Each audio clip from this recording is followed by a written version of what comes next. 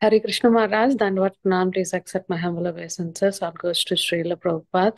Thank you so much, Maharaj, for giving your valuable time and association to us this morning and enlightening on the topic of Srimad Bhagavatam. Uh, I'll hand out the call to you, Maharaj. Hare Krishna. Thank you. My obeisances to all the devotees.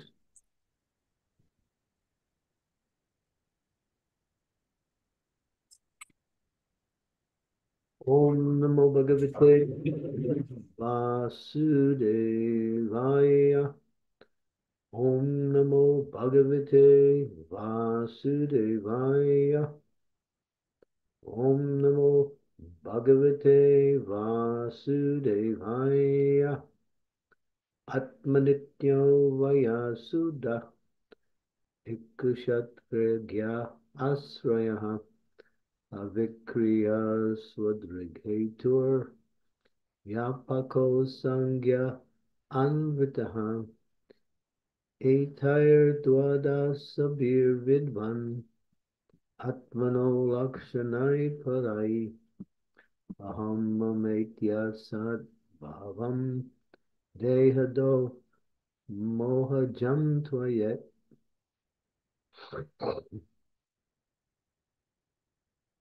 Translation Atma refers to the Supreme Lord or the living entities. Both of them are spiritual, free from birth and death, free from deterioration, and free from material contamination. They are individual, they are knowers of the external body, and they are foundation or shelter of everyone, of everything. They are free from material change. They are self-illuminated. They are the cause of all causes and they are all pervading. They have nothing to do with the material body and therefore they are always uncovered.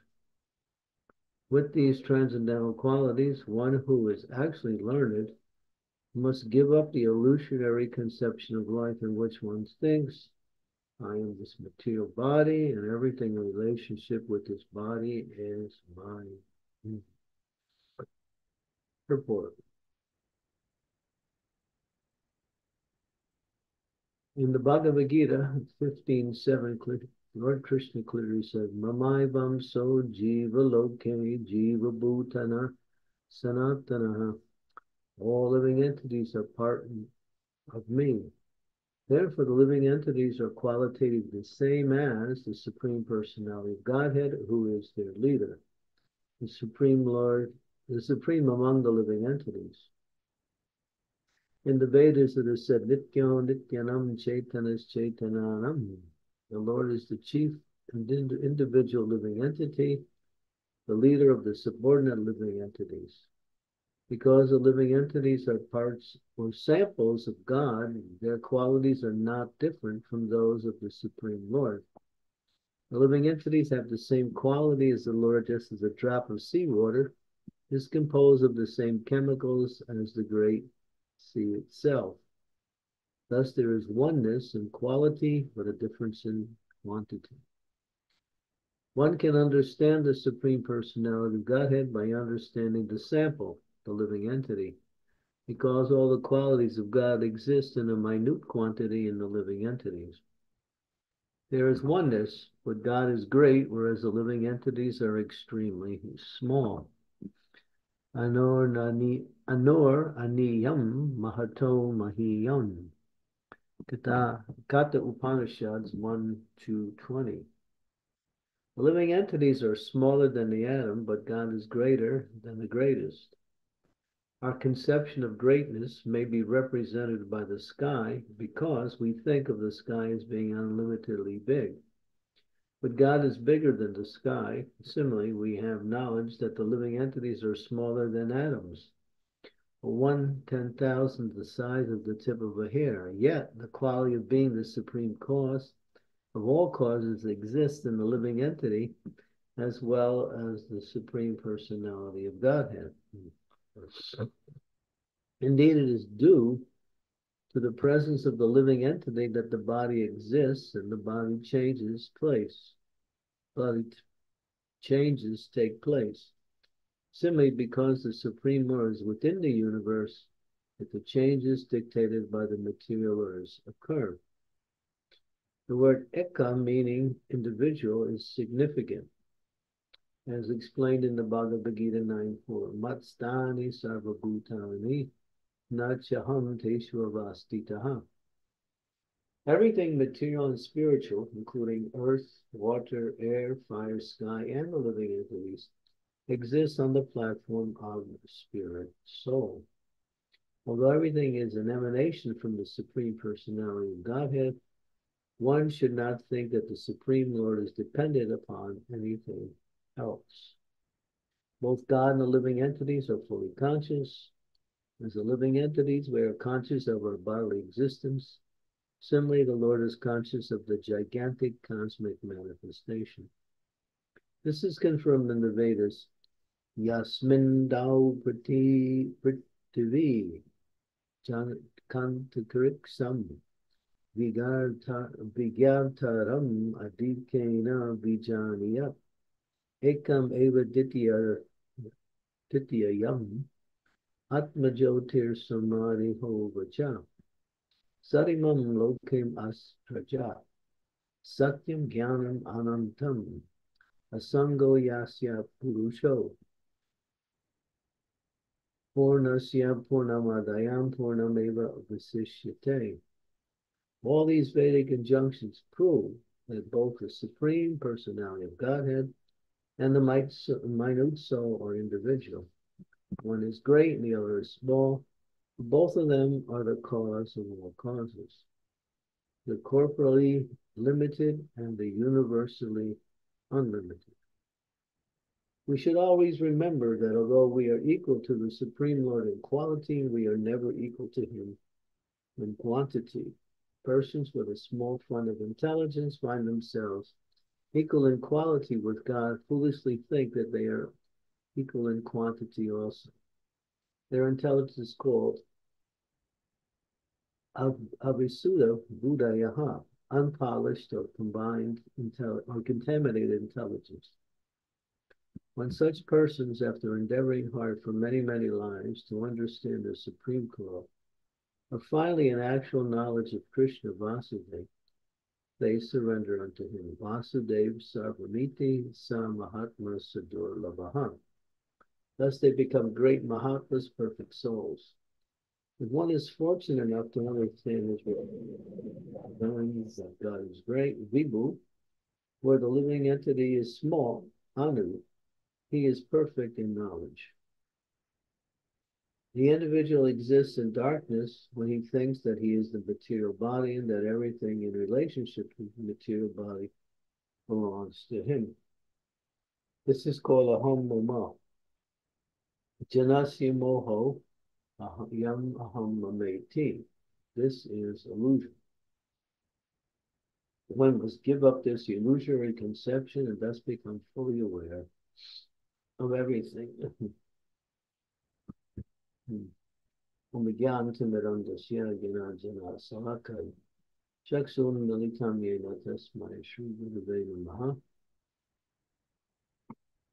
नमो विष्णुपादाय कृष्णप्रस्थाय भूतले श्रीमद्भक्तिवेदान्त स्वामिनीति नामिने Namaste Saraswati Deve Gauravani Those please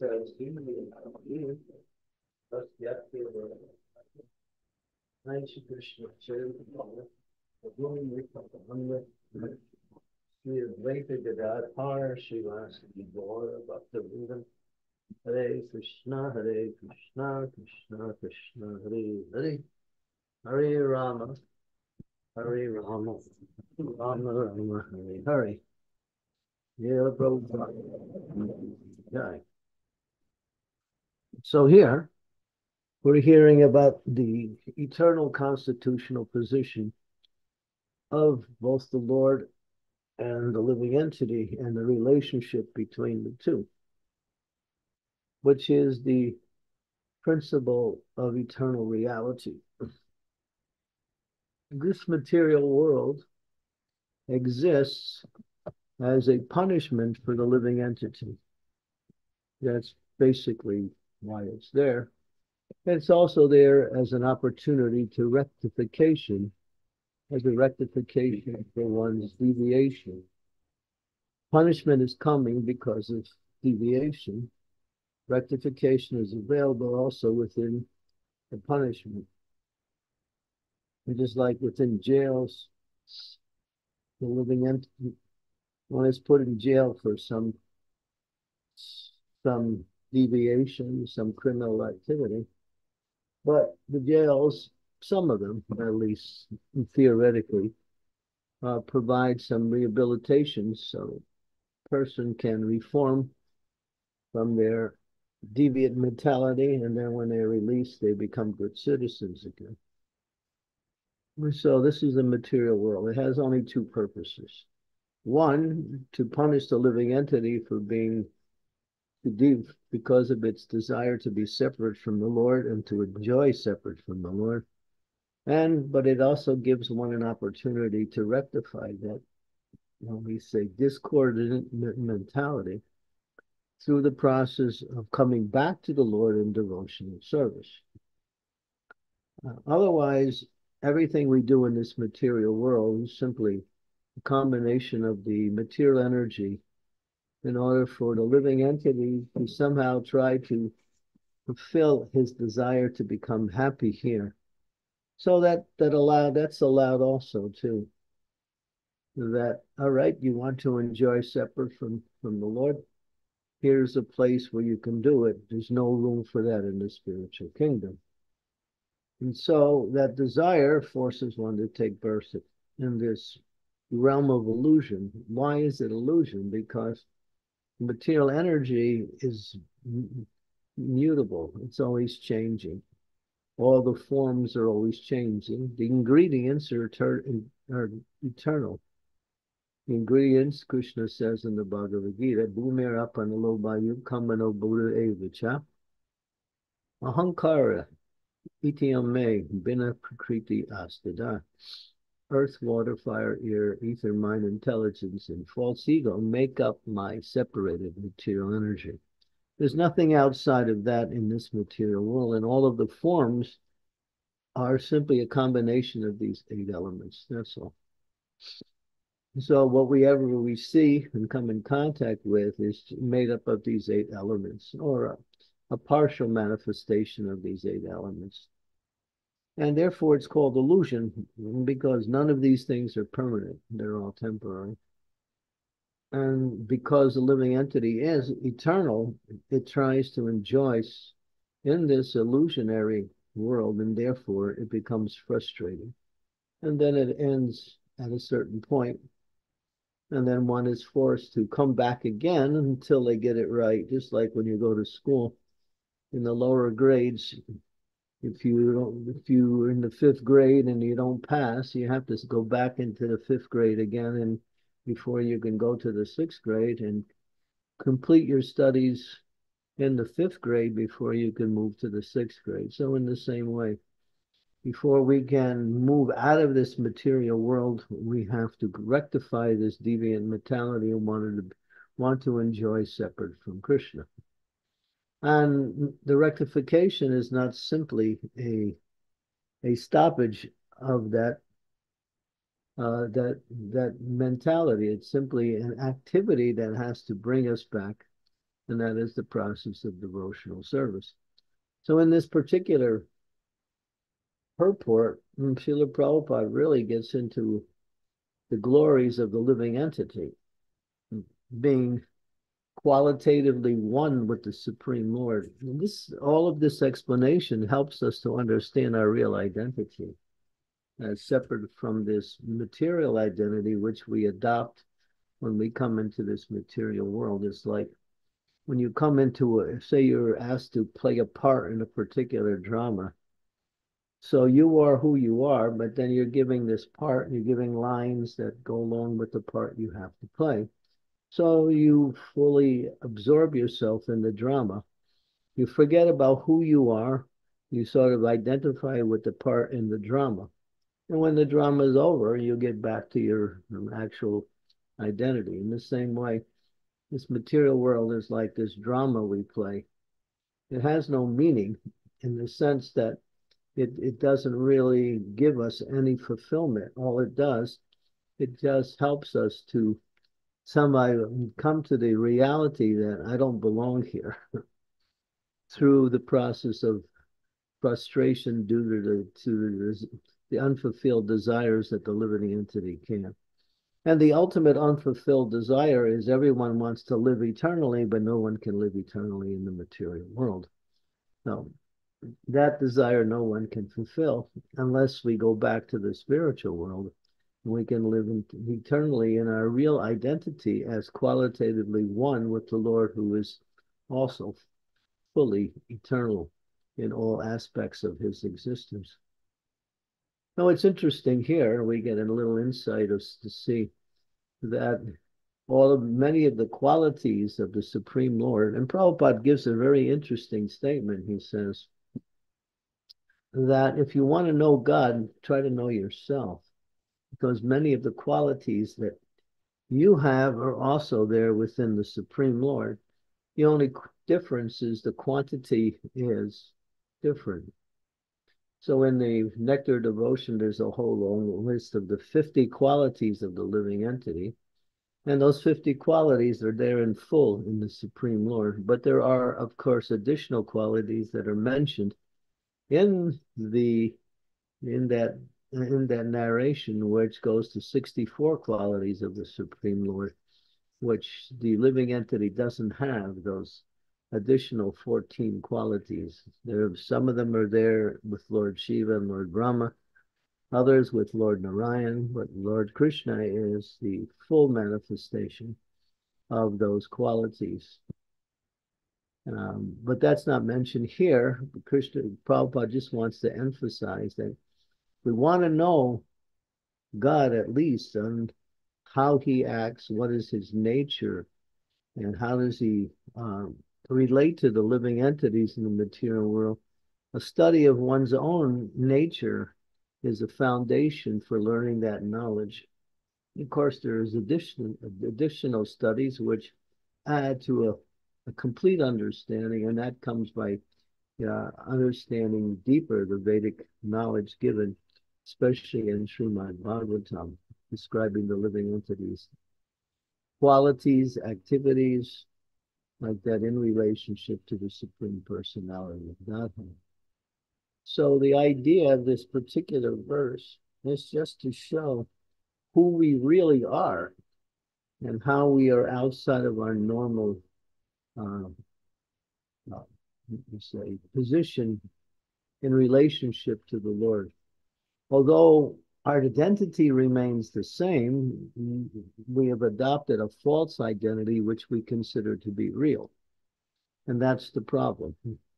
A false identity means uh, whatever identities we have, we adopt based on the body, and such as male, female, husband, wife, son, citizen of a particular country, member of a particular club. You go, the whole list goes on and on and on this world is so full of variety also in the identities that we adopt. And people are always changing and looking for new identities to add on to their already illusionary identity, and therefore they compound their suffering in this material world. And that continues, Maya Ravase Kacho Dubai. Life after life, we add on something more to our present illusion, and illusion becomes thicker. But when we come to devotional service, then we are actually getting free from the illusion and coming back to who we really are, where life is eternal, full of knowledge, and full of unlimited joy in relationship to the supreme source of our existence, the personality of Godhead, in different types of relationships that we see here in the material world. Like Prabhupada would say, you know, in the spiritual world, you see there is lover and beloved. There is also uh, lawless love, that is, people who are married but apparently have another relationship outside of that marriage. With Krishna in the spiritual world, that is considered the highest form of transcendental uh, happiness for the Supreme Lord and his devotees. But when we see it in the material world, as it says, the material world is simply a perverted reflection of the reality, then it becomes a source of degradation and condemnation also. And of course, uh, parent to son, friends, uh, serving different ways, all of that is there in the spiritual world with Krishna. But here, where we're, it's like it's like if you had a little child and you see especially little girls they want to become like their mother so they get a little uh, dollhouse and they have a fake kitchen in there and they're cooking and they're playing with dolls and they're they're acting like their mother but in a very childish type of environment with just artificial paraphernalia so that's what we're doing here we're doing the same thing here. We're simply trying to imitate what's going on in the spiritual world, but there's no substance to it here. And we just waste time and just deviate from where we should be. So then here, so again, this verse, and these both verses really help one to understand that none of this material uh, show that we so much are attracted to and attached to is actually have any have any real value in relationship to our identity. It's just like sometimes you go into a place in this in this world. There's a thing called the uh, lunatic asylum. Uh, in the lunatic asylum, there are people there who cannot function outside in normal life and for various reasons because they're considered to be without any sanity. So in there, you might find people demonstrating something other than they are. Somebody says he's Jesus Christ. Someone says he's George Washington. Uh, they somehow, people identify with some great personality and then they think that they're that person and they act in that same way. And so these people can't function outside. So sometimes they become so de detrimental both to themselves and others. They're given this place called a lunatic asylum, or sometimes we call it the crazy house, like that. And they protect themselves from becoming worse, and at the same time, they don't do damage to the rest of the society. So it's the same thing. We're we're all somewhat in this big lunatic asylum called the material world, and we're we're falsely acting according to this uh, adaptation that we somehow identify with. But the problem is the lunatics also think they're normal, and that we have that same thing. We think everything is just normal. It's normal if you're in the lunatic asylum and but if you go outside, you'll find yourself not functioning. So the outside is the spiritual world. And so here, then our real identity is being, and it's not only being mentioned, it's being glorified.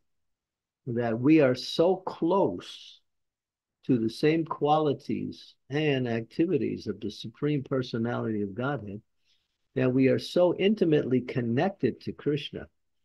Yet somehow or other we're we're not aligned and aligned in our activities. Therefore, unless one seriously takes up devotional service and then re restructures their consciousness in relationship to their real identity, which is to serve the Supreme Personality of Godhead for the pleasure of the Lord, then we continue to have to come back life after life in these different costumes that were given called material bodies and playing in this role that is simply contrary to our actual identity. And uh, not only our actual identity but our actual uh, welfare and ultimate happiness. So um, yeah. So here is this this these two verses are really really so deep in transcendental knowledge uh, just to read it over and over again and to try to understand it more and more is a is a very worthy uh, uh, uh, exercise in order for us to digest more of our who we actually are. Because it says here, um, Atma, the term Atma, which is in the translation, refers to both the Supreme Lord and the living entities. Both are free from birth and death. Both are free from deterioration, and both are free from material contamination. This is another interesting point being mentioned here. We, in the material world, they say that soul becomes materially contaminated. But in one sense, that is not also true. What does that mean? It means that the contamination, again, is just a, an illusion because the soul never touches the material energy the soul cannot blend with the material energy. So the soul cannot get contaminated. Just like there's a very, very nice verse in the Srimad Bhagavatam in the 10th canto, 14th chapter, which says that liberation and material bondage are both an illusion because the living entity cannot become bound up by this material energy nor can the person be liberated from it. Because if you're not bound up, how can you be liberated? But then again, we talk about that in, in a different way to say we are bound up and we are. What is that? It's the illusion. So once we get past the illusion and come into the reality, then material contamination and liberation no longer exists for the soul because the soul is never is never tied up by the material energy because the material energy is powerful, but the living entity is part of Krishna. And the living entity, when it connects with its part in the process of devotion, which is his actual eternal occupation to serve the Lord, is our eternal occupation, not just an occupation that exists at one time and don't and doesn't exist at another. No, it's eternal. And therefore, that because we're not functioning in that eternal occupation, we come into the illusion that I get it contaminated and I can somehow or other free myself from this contamination. So it's interesting. There's a beautiful verse. I think it's in the 14th chapter. I think it's verse number 24 of the 14th chapter that describes this. And it's actually Lord Brahma his prayers to Lord Krishna, describing that both contamination uh, or bondage, the word bondage is used, and liberation are both an illusion because the soul can never be bound up, nor can it be unbound because it is it is pure spirit and has nothing to do with anything material. Just like we have nothing to do with the reality of our dreamlike state when we go to sleep at night we take rest, the mind works in such a way as to bring up certain um, conceptions of our existence on a subtle level. But when we wake up in the next morning, we pretty much forget about what we dreamt and we go on with our regular activities. So this world is again like a dream. It's simply the living entity is dreaming that they're whatever they are. It's just a series of dreams. That's all. Uh, it's both quite ridiculous and at the same time quite pathetic because, or we might say quite uh, sad because the living entity is actually wasting its, it's like if somebody gives you a long, a, a large sum of wealth and you simply take it and you put it in a in your safe or something and you never use it. So we've been the human form of life is that treasure to get back to our reality of eternal service to the Lord in the spiritual world, which is the perfection of one's what we say, not perfection of existence, that exists already. It's the it's the graduation out of the illusion. That's basically what devotional service is to graduate out of the illusion of misidentification. Now, it's interesting. Um, I would suggest whoever's here today listening to this class, please read this verse continuously. And if you do, let me read it over and over again, both the purport and the translation, and you'll start to understand more about who you are and what is your real identity and where is your real, how you actually are a very powerful force of existence. The soul is very powerful, but because its power has been checked by its illusionary concept of being the material body, it doesn't use its power. It uses its facilities simply to further the illusion, that's all. But therefore, but the soul is powerful because it's it's it's connected with the supreme power, Sri Krishna. okay, we can stop there and open it up for discussion. Hare Krishna Maharaj, thank you, thank you so much for a wonderful class, Maharaj. Uh, if anybody have any questions or realizations, please unmute yourself and please go ahead. Sukar Krishna Prabhu, please go ahead, Prabhuji.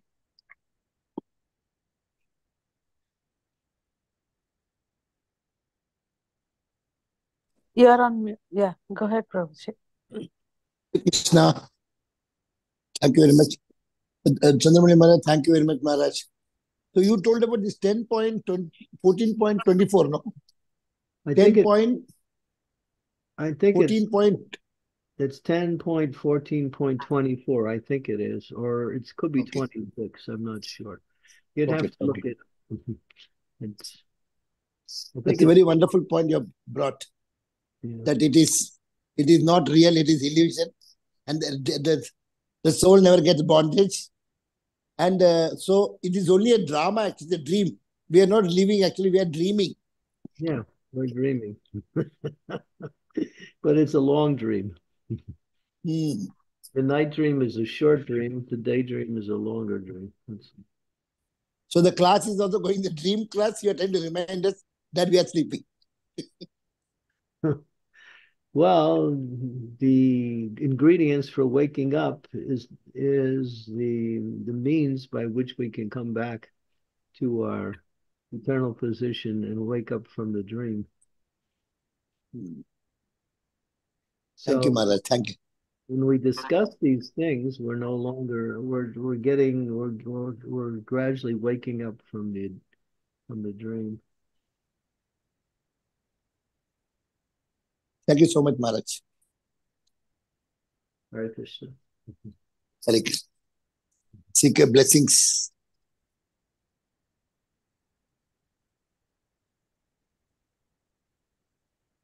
Yeah, thank you so much, Maharaj. Anybody have any questions?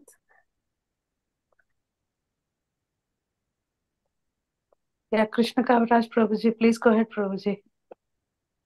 Thank you very much. Please accept my humble obeisances. All glories to Srila Prabhupada. All glories to you and your services. My humble obeisances to all the devotees.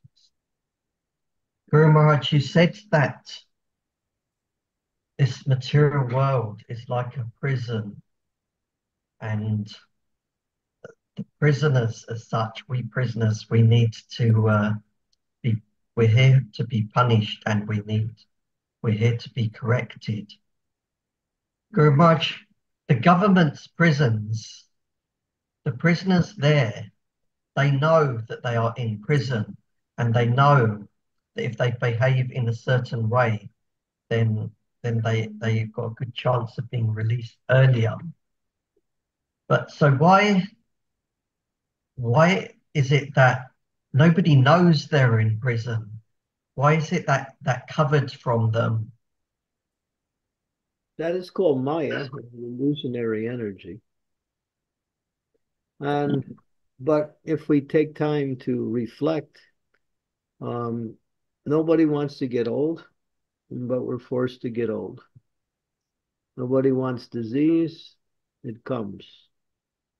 We forgot how miserable birth is, but if you speak to your mother, she'll tell you it's not a very pleasant thing. it's very difficult, very painful. In fact, even many women lose their life at childbirth. It's one of the leading causes of death in the United States and women dying at childbirth. It's, so it's not, and for the child, it's also not a very pleasant thing when you when you're born. You don't come out dancing; you come out crying. uh, and of course, nobody wants to. Everyone wants to live forever, but death is posed upon us. So if we just reflect on these four miseries, we can see that we are in a type of prison, which is giving us these forced punishments. And we try to fulfill our desires, and we can't for whatever reason. Maybe we fulfill some desires, but some other ones we can't fulfill. There's so many examples. We all have experience of unfulfilled desires or desires that were fulfilled but no longer could could could give us satisfaction. So a little reflection about how the material world is working upon us will help you to understand, hey, you're in prison. You're limited.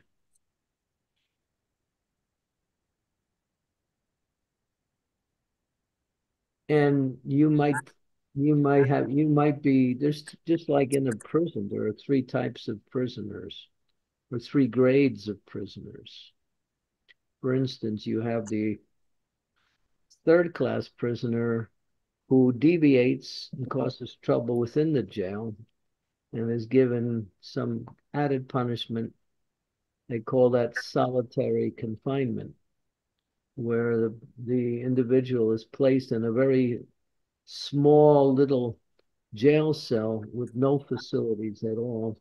And they cannot go out. They have to stay there for like every day you know, for six months until their term of punishment is over within the prison. Then they get back to mainstream. And the second class prisons are the mainstream prisoners, the ones that are just following the prison rule. And then you have the privileged prisoners, where you have people who have been exemplary behavior within the prison, and it's been noted, and these persons are given pr- certain privileges in the prison. I've seen it when I go into prisons, the people who who are privileged prisoners, they have some control of other prisoners they also have access to other areas of the prison that mainstream prisoners don't have. They're trusted. So you see that in the material world also. You see people who apparently have a somewhat free from suffering life, but they're still suffering, of course, but it's not as bad as some others. And there's others who day to day can't even get food. who whose life were being threatened at every minute. Just look around the world. Get beyond your limited sphere of experience and look around. You see people have tremendous suffering. Their lives are at death. Some of them can't even find food. You know, it's, I mean, the starvation population of the world is in millions. Millions of people are starving for lack of just food, which is available for most people. So you see, within the prison, there are different levels of suffering. But everyone is in the prison, and everyone is undergoing some type of suffering, which means we're limited the soul is unlimited in relationship to Krishna in devotional, in the, in the spiritual world. And it also becomes somewhat unlimited even in the material world when one becomes fully active in devotional service. And then by that connection with the supreme free, who is Krishna, he is supremely free. He's not bound by anything, even by even by his own rules, he's not bound by. He he he lives completely uh, what we say, uh, he's called Swarat. Swarat means totally independent. We also have that quality of Swarat within us, but we are partially independent. We can never be totally. But we can also come to a level of almost totality in, in independence when we fully engage in devotional service. Then we're no longer under the restrictions of material energy, and the material energy is restrictive. Mm-hmm. And you see that that great devotees can defy even the material energy and do things that normal people cannot do because they are still controlled by that same energy. When you're connected to Krishna, the more you're connected to Krishna, the more you're free. And when you're fully connected to Krishna in devotion, that means every moment, then you're you're totally free.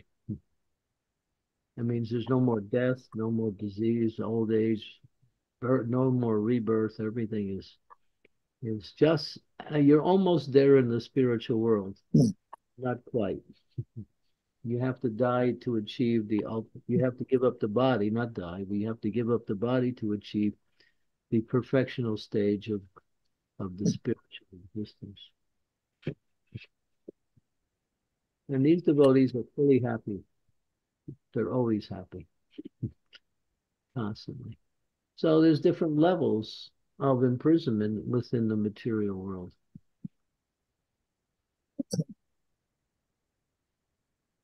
Thank you very much, Guru Maharaj. Thank you so much, Maharaj. Uh, next question, uh, Sipleshan Prabhuji. Please go ahead, Prabhuji. Unmute yourself. Hare Krishna Guru Maharaj, please accept my humble obeisances. All glories to Srila Prabhupada, all glories to the assembled devotees. Uh, Maharaj, in the purport it says, Yet the quality of being the supreme cause of all causes exists in the living entity as well, as in the supreme personality of Godhead. How can we living beings or living entities be the cause of all causes? I've always understood that Krishna is the cause of all causes. Yeah, when I read that, I was quite, uh, quite, uh, became quite thoughtful. How is that possible? But then You when I, quality wise, quality wise same you told. Quantity wise different. yeah, Quality wise. yeah, that's that's the point. That quality wise, we are the same as Krishna, and Krishna is the cause of all causes. So it's only in our stage of of of pure consciousness that we have that quality, which is in a small poor proportion of our existence. That's all. It's not of the same quantity as Krishna, but it's in a it's a small proportion of the that eternal quality of sarva karana karanam, cause of all causes. Krishna is infinity. Yeah. When you're, yeah, when you're in that pure consciousness, yeah, and then you're, you can actually exhibit that quality to a certain degree. You can make things happen. We also have Satchidananda, but not to his level. Uh, Say that again? We also have Satchit Anand, but in smaller proportion. Yeah, He's that's, that's the answer. It's in a smaller proportion, that's all. Is ocean, we are drop of water. but same water. So, so it's the pure devotee who exhibits these qualities more than us beginners. Right. Yeah. Pure devotee also is Gyan. He knows past, present, and future. Prabhupada told us so many things when he was present that later manifested in terms of, you know, manifested in reality.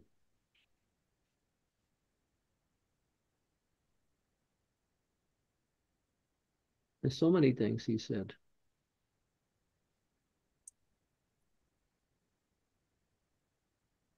Prabhupada could look at you and know what you're thinking. you couldn't hide from Prabhupada. Even if you tried to hide your thoughts, he would be able to detect them if he if he wanted to. Of course, he wasn't trying to do that with everyone, but if he if he wanted to, people would devotees would say that when they met Prabhupada, I could see that he's seeing me beyond who I I think I am. He knows who I really am.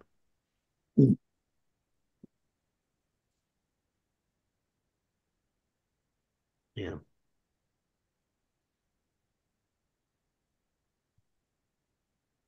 I even had that experience with one of my senior god brothers. Who I was thinking that certain things about him. He just turned around and looked at me and gave me an answer based on my thoughts. Jai. With no no communication other than what he his re, response to my thoughts. And I had met other persons who had the same experience with this same personality. That was Bhakti Tirtha Swami. Mm. He was so powerful. He he he could detect your mentality if he wanted to. It's not like devotees make a, pro, a program out of trying to find out people's minds, but if it comes up and it becomes important, it becomes revealed. And so, I mean, and he still was acting within the material body, apparently, but at the same time beyond the material body.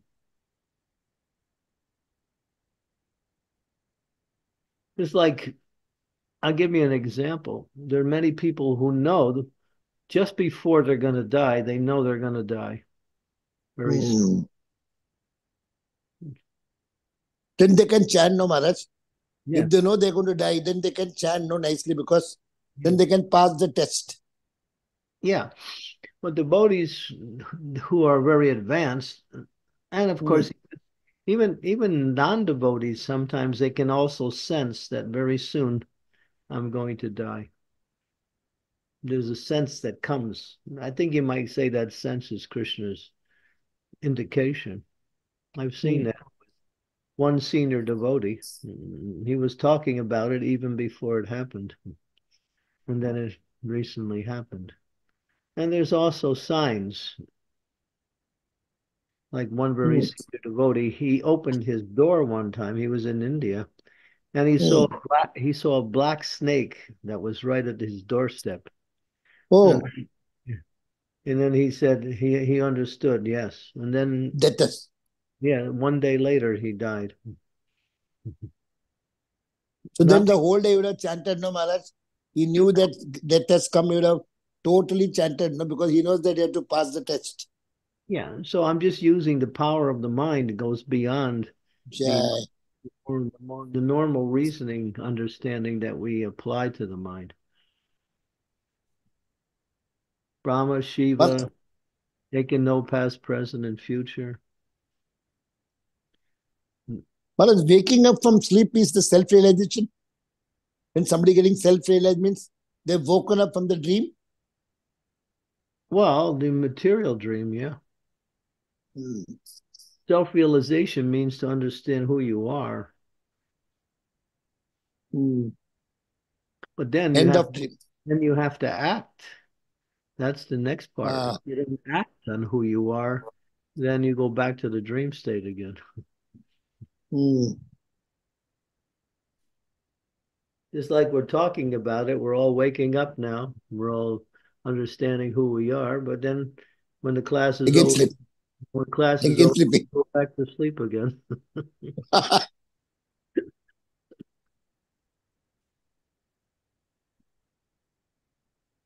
Wonderful, Maharaj. Thank you for your answers. Don't go back to sleep. Stay engaged in devotional service. And remember, Thank you, Maharaj. and remember Krishna. That's the whole point. Thank you, Maharaj. Just a pure devotee, if you just bless all of us, we all will become more conscious, Maharaj. Your Prabhupada disciple. If you praise me, you'll get nowhere. Oh, Maharaj. But if you take up the process, you'll you'll get some oh. better. Okay. Okay, Maharaj. Sorry, please excuse me, Maharaj. Don't let it happen again. Sure, Maharaj. Thank you, Maharaj. Uh, Ajit Prabhu, please go ahead, Prabhuji, with your question. Hare Ajit Krishna Prabhu. Maharaj, Dhanyavad. Hare. Please accept Maharaj. Maharaj, thank you for a wonderful lecture. Maharaj, you mentioned uh, two things. Uh, one regarding that we are here in this material world because of our desires. And then you spoke about devotional service. And Maharaj, when, uh, when we are performing these, matlab, any sort of devotional service, uh, especially about me, I, I still uh, feel that there are desires hidden in that uh, devotional service too. Uh, uh, and those are like uh, people will say that i'm doing a good service. People will praise me for name and fame. All, all those desires are still there maharaj. How to curb our desires how to be uh, humble and how to perform devotional service with only a desire of pleasing krishna pleasing guru maharaj and pleasing vaishnavas Rupa Goswami explains what is pure devotional service. And he gives that explanation so we can adopt that that mentality in performing devotional service. And so that means ridding ourselves of certain uh, motivations that come by way of activity. These motivations that come by way of activity are due to our material life. So we carry them into spiritual activities also. We have that tendency. And so what is the what is the carrying? Well, we want to get something from the activities we perform in devotional service. We want to get some credit, some notification, some reciprocation, something, either subtle or gross. There's even devotees who will not serve unless they actually get some money for their service. In other words, they look at devotional service as a way to perform to fulfill their material needs also. These are all mixed forms of devotional service. So Rupa Goswami calls them fruit of activities. Fruit of activities means activities with a desired result. But devotional service is anyabhilasita sunyam. It's free from all of that. That means it should be done for the pleasure of the Lord or the pleasure of the Lord's devotees and with a desire to please. That's all. That's the essence of the consciousness to do it in a pleasing way uh, with a desire to free oneself from these uh, these false uh, ideas that I need something to that's material life. Material life is fruit of work. Spiritual life is activities that are done in, in a selfless way, not looking for anything. But a devotee knows that by simply by serving the Lord, all my desires can be fulfilled automatically, simply by serving the Lord.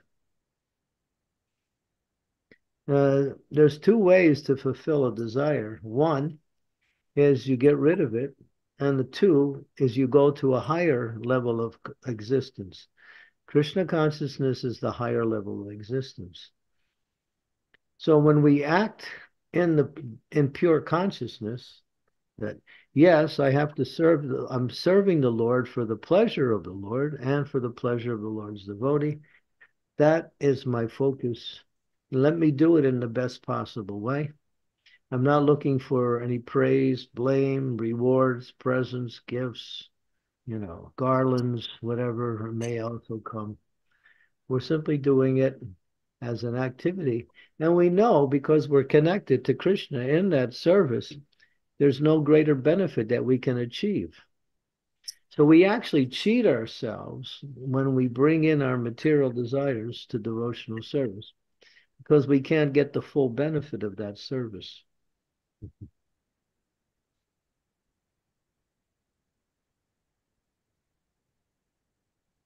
So serve for the sake of service. We do that sometimes when we're under obligation sometimes. We, sometimes we have to do something because it has to be done. We know there's nothing in it for me, but it's still a requirement in my life. So we do that. So sometimes we can even see in the material sense that we also do something in a selfless way because it's a required obligation. That's all. Super answer, Maharaj. It's like, okay, to, to use a very simple thing, you're busy when your wife comes and says, Well, I need I need to go someplace and I don't have a ride. Can you drive me there? And you say, Oh, of course, yeah. But you're busy doing something. You give up what you're doing so you can take your wife to where she wants to go. It makes her happy, and you did it. So, what's in it for you? Nothing, in the sense that you get the pleasure of serving your wife by doing it. So we get the pleasure of serving the Lord simply by uh, taking on devotional service. So, simple analogy.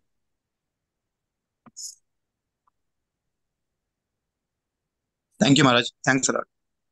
Mm-hmm. Hare Krishna. Thank you so much for wonderful answer, Maharaj. It really helps everybody.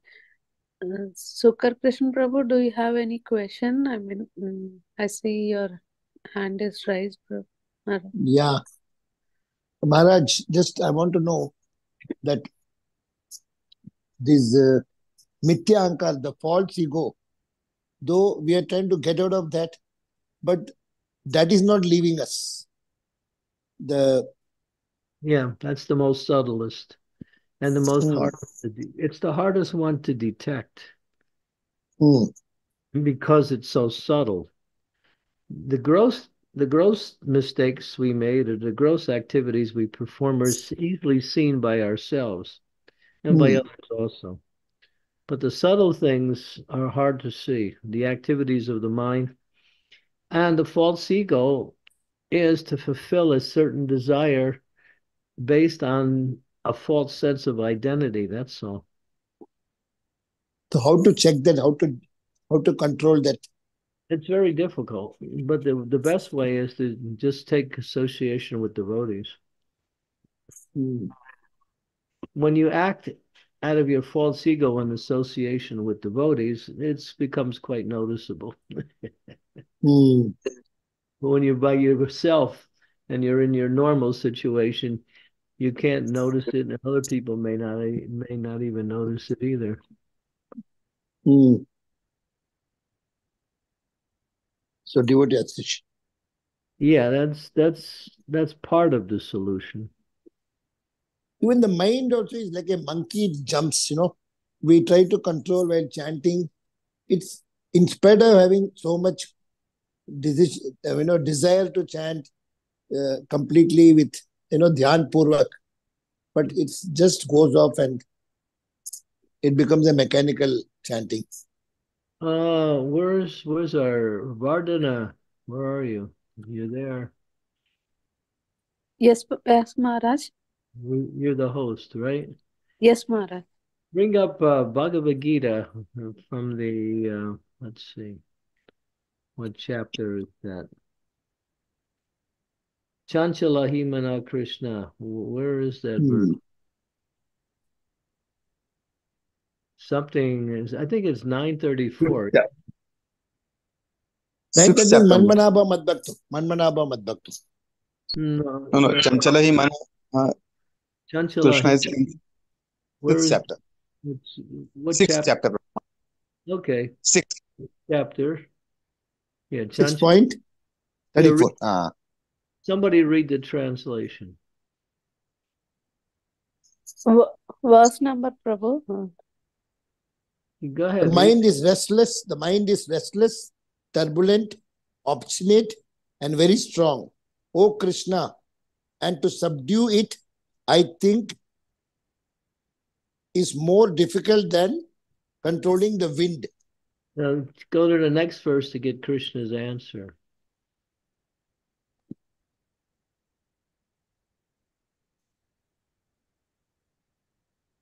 the individual. No. Hmm. Lord Krishna said,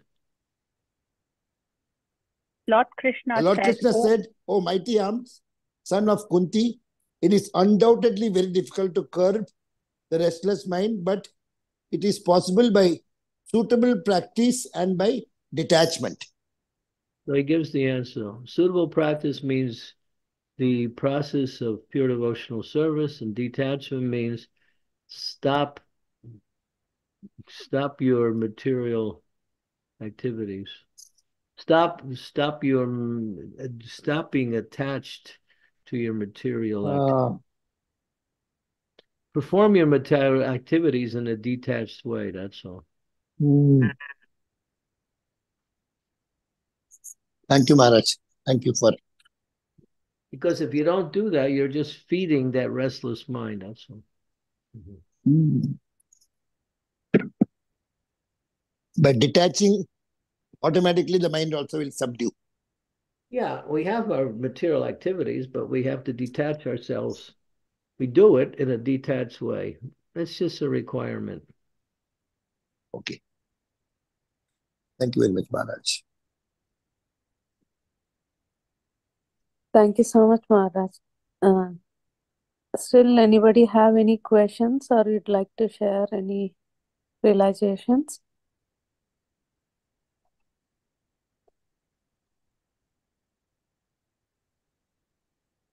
Amy. Hare Krishna Maharaj, Dandavat Pranam, beautiful class. I have a question um, about uh, you know giving and taking association. Um, I mean, I have some friends and colleagues who are not in Krishna consciousness, but um, I I do uh, have some uh, interaction with them, but with the mind that you know, I mean, they they may take the process as well. But what I find difficult is that um, when you are, you know, uh, dredging this, I would call it like dangerous waters, uh, you may actually get some, you know, there's a counter transference, meaning you you you can get uh, kind of, I I don't know if contamination is the right word. You you may get their association versus giving your association.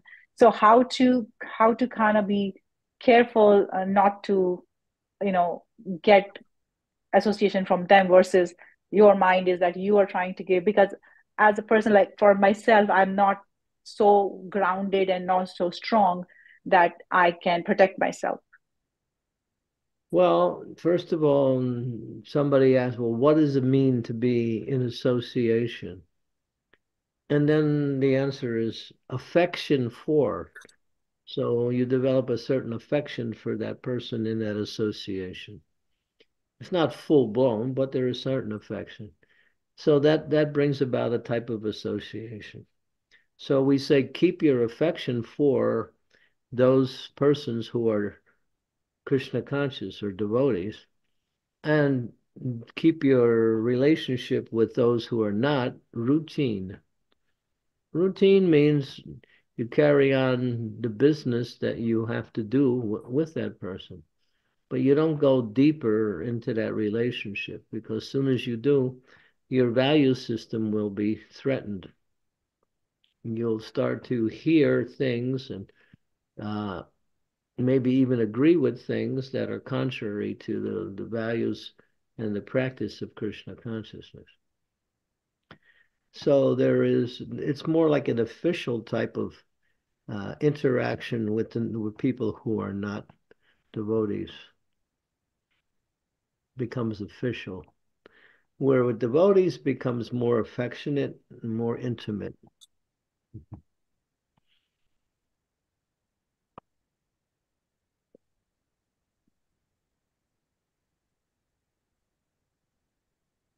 thank you maharaj Hare krishna You have to you just have to practice that and just be careful not to go beyond a certain uh, you know protocol in that in that relationship.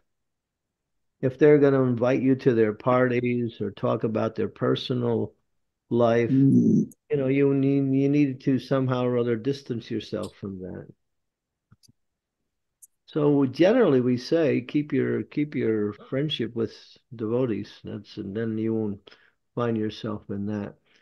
If you have to do business on the outside in order to maintain material activities within the family, then you know you might develop some friendly relationship with the guy who's on the in the supermarket who you see every time when you go buying some some Hmm. groceries. But you just keep it friendly and official. That's it. Don't talk more. Not necessary, but we need we are social beings. That's the thing. And we have to find that social outlet within Hmm. the society of devotees. So Maharaj, then how do we bring them to Krishna consciousness if that is something we want to do? So Then there, that's what you said. You said you we have to give them our association, and we Hmm. explain, you know, what we're about, and not so much hearing about what they're about. You might hear about what they're about in order to respond to them up to a certain point. But when they start talking about their personal life, then Stop. unless you're doing it in, in a way to counsel them in that, but if you're doing that, it's just an equal exchange of uh, of ideas, then they're going to try to present their life to you as something that is important, interesting, uh, something you might benefit, they, they might want to give to you. They want to share with you their personal experiences in their sense gratification activities like that. That's what they usually do. Or they get into a lot of people get into talking about things that are completely useless. Hmm. They're always talking about somebody called Gramya Katha. Gramya Katha, romantic Katha. that's very true, Maharaj. Thank you. Thank you so much. Hare Krishna. Wonderful. Thank you, Maharaj. Thank you so much, Maharaj. Super answers.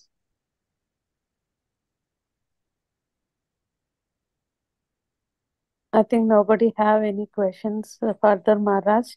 Um, anybody wants to ask any questions to Maharaj?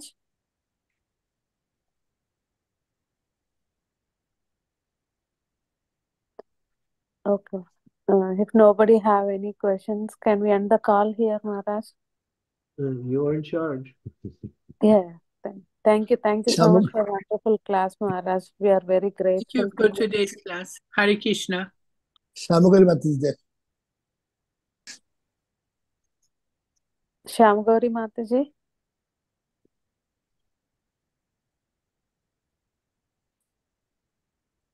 Yeah. Uh, thank you so much, Maharaj, for your wonderful class. We are very grateful to you, Maharaj, and we look forward for your association regularly in, in future. Thank you so much. Vancha Maharaj. Kalpataru Let us Krishna pay Sindhu obeisance to Bhayata Maharaj and all Nam the Bhavani Hare Krishna Maharaj, please accept my humble obeisances, all glories Yeah. Thank you so much, Maharaj. Very wonderful class and very nice question answer. Thank you so much for Thank your you, Krishna. Hare Krishna Guru Maharaj. Thank you very much for the class. Wonderful class. Very, very. Hare Krishna. Thank you very much. Thank you, Maharaj. Hare Krishna. Hare Krishna. Thank you.